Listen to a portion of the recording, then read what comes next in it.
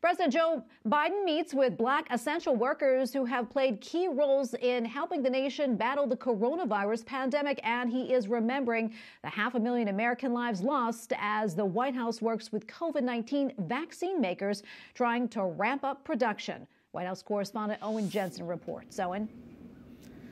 Tracy, good evening to you. First, we're learning tonight that President Joe Biden will visit Houston, Texas this coming Friday to get an up close look at the relief efforts taking place there after that terrible storm. Now, today, President Biden spoke with black essential workers about vaccinations and the American Rescue Plan. We have Melanie Owens, a pharmacist in Chicago.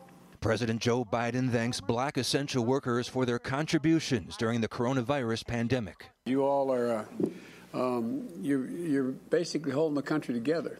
I'm not being facetious, I'm being deadly earnest. The president knows well the dangers people of color have faced. Many of our employees, you know, they put themselves on the front lines. I really appreciate you and your colleagues uh, across the country who are continuing to push and say, no, if you can get a vaccine, get it. If you can get it, get it as quickly as you can. Meanwhile, the major COVID 19 vaccine producers are trying to meet more demand. The White House press secretary today told reporters Our COVID coordinator, Jeff Zients, announced the fifth consecutive week of supply increases. States will now receive 14.5 million doses uh, this week, up from 8.6 million doses per week when the president took office. In addition to ramping up production, is ramping up confidence. An Associated Press NORC poll reveals about one in three Americans say they definitely or probably will not roll up their sleeve for a shot. And if you are fully vaccinated and cross paths with another fully vaccinated person, common sense tells you that, in fact, you don't have to be as stringent in your public health measures.